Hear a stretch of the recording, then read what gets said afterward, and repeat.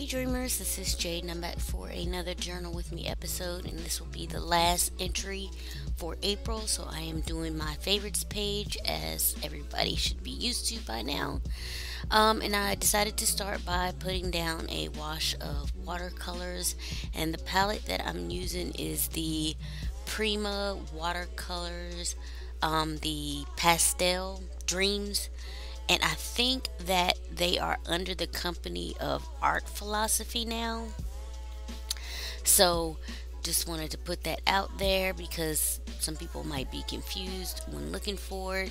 Um, I'm using these old Amy Tangerine alpha stickers to write out April, and then I will use um, my favorites. Um, that's just my handwriting. I just made a few die cuts of it in different sizes to use for these spreads and I am readjusting here because I decided I wanted to put the film strip with the um, shows that I really loved um, towards the top and uh, the April was a little bit in the way so yeah just wanted to do some adjustments there I ended up doing a lot of adjustments with um, alphas during this entire spread. but anyway, I'm going ahead and getting my TV shows down, which were Bel Air, Claws, and Grownish, and then um, I will get down one of my other favorites of the month, which was the movie Turning Red.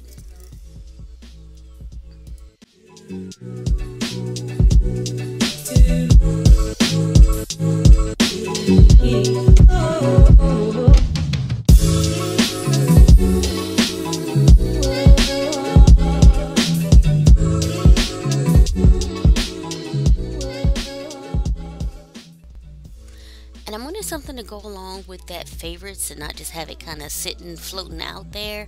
Something to kind of decorate the side of it and anchor it a little bit.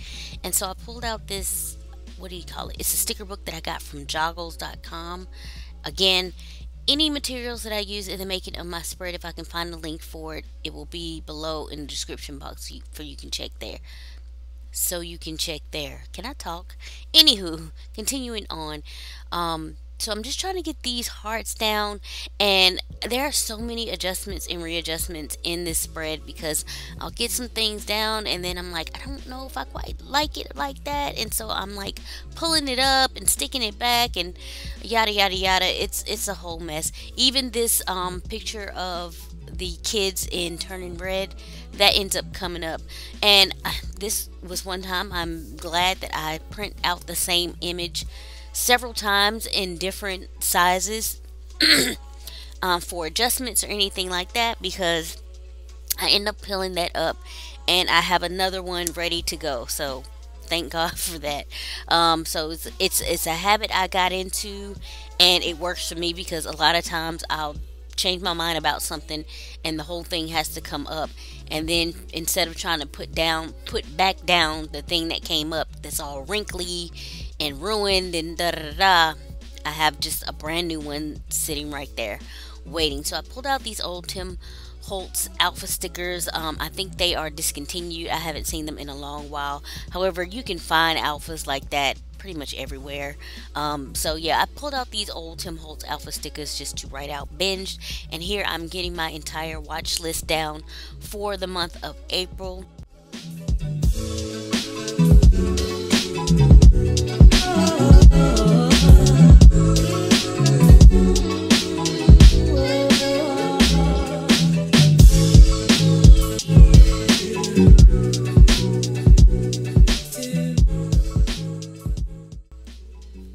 I pulled out one of the Vicki Boutin sticker packs. I want to say is Sweet Rush uh, because I need to, you, you, guys know I need to fill that white space down there.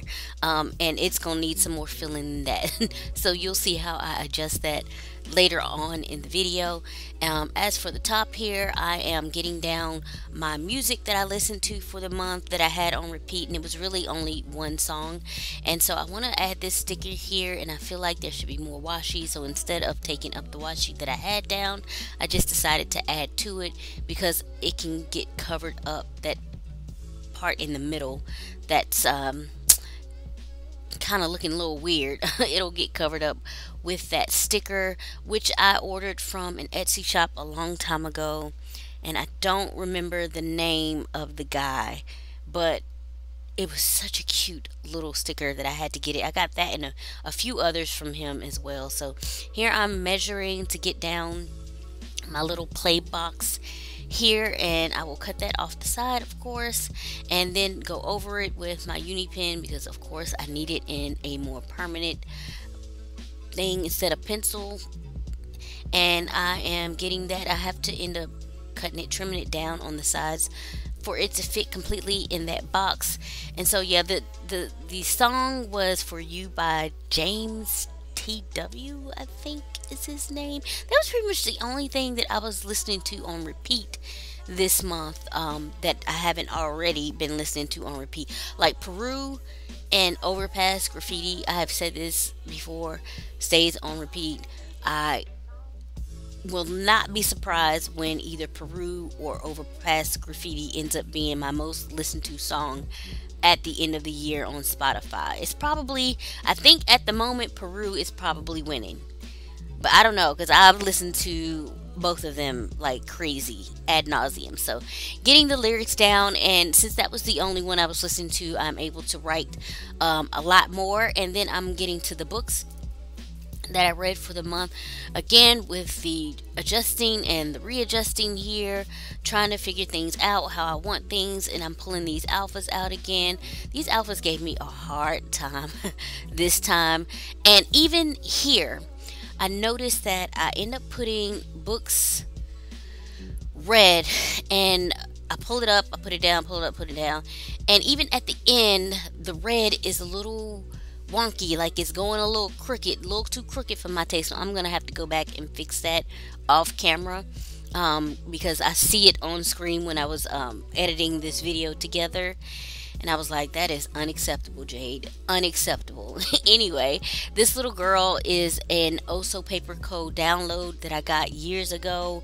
Uh, I think she no longer offers downloads because people were taking them and acting like they were her theirs and selling them. So she doesn't do digital downloads anymore. But you can buy her stickers.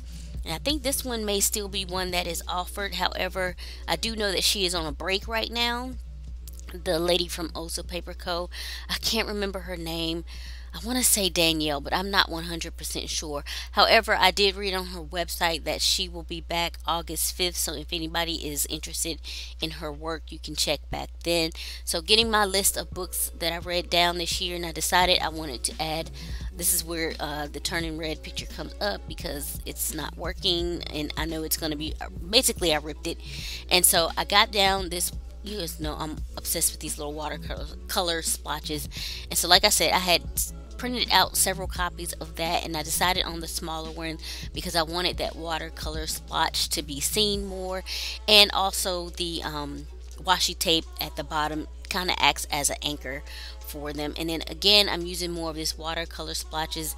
These are from a sticker pack from Creative Devotion I picked up from Pop Shelf a while ago. I really wish I had picked up all the ones that were there because I really, really love it. And so just getting a few more stickers down from, I think, um, Vicki Boutin's Sweet Rush collection and then also that Joggles, what do you call it? Sticker book. Yeah, I'll be forgetting. And that it that does it pretty much for this spread. So if you have any comments or questions, please leave those below if you enjoy this content. I'd appreciate it if you consider liking, subscribing, and sharing. Hope everyone has been safe and well, and I'll catch you all in the next one. Bye.